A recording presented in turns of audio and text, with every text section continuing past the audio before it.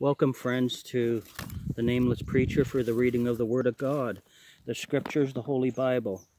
I am on chapter 3 of First John. Behold, what manner of love the Father has bestowed upon us, that we should be called the sons of God. Therefore the world knoweth us not, because it knew him not. Be beloved, now are we the sons of God, and it doth not yet appear what we shall be. But we know that when he shall appear, we shall be like him, for we shall see him as he is. And every man that hath this hope in him purifieth himself, even as he is pure. Whosoever committeth sin transgresseth also the law, for sin is the transgression of the law.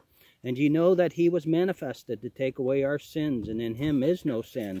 Whosoever abideth in him sinneth not. Whosoever sinneth hath not seen him, neither known him. Little children, let no man deceive you.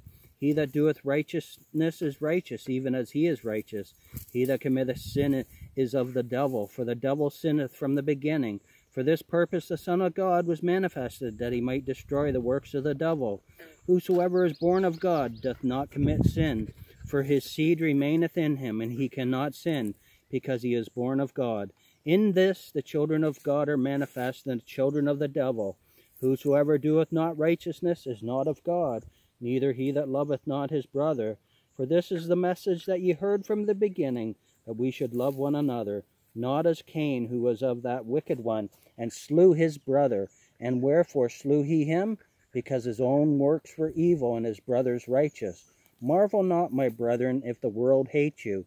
We know that we have passed from death unto life, because we love the brethren. He that loveth not his brother abideth in death. Whosoever hateth his brother is a murderer, and ye know that no murderer hath eternal life abiding in him. Hereby per perceive we the love of God, because he laid down his life for us, and we ought to lay down our lives for the brethren.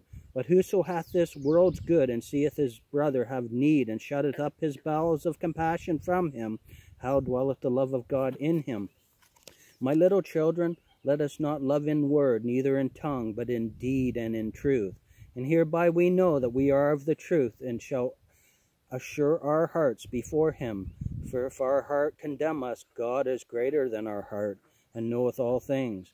Beloved, if our heart condemn us not, then we have confidence toward God. And whatsoever we ask, we, we receive of him, because we keep his commandments, and do those things that are pleasing in his sight. And this is the commandment that we should believe on the name of his Son, Jesus Christ, and love one another as he gave us commandment. And he that keepeth his commandments dwelleth in him, and he in him. And hereby we know that he abideth in us, by the Spirit which he hath given us. Thank you, friends, for coming for the reading of the Scriptures. First John chapter 3. Wow, there was a lot in there. We should read it again. For now, we will quit and Remember that faith cometh by hearing, and hearing by the word of God. Thank you.